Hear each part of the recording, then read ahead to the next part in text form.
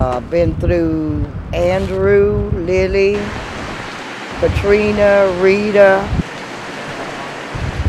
I've been through a lot of them. They didn't prepare hardly for the other one, but they prepared for this one.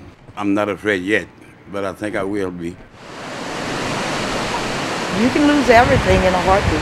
I mean, every one of them is different. You never know what's going to happen.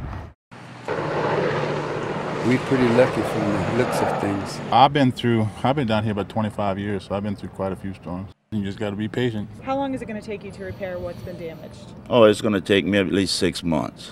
No water, no MREs, and we're basically running out.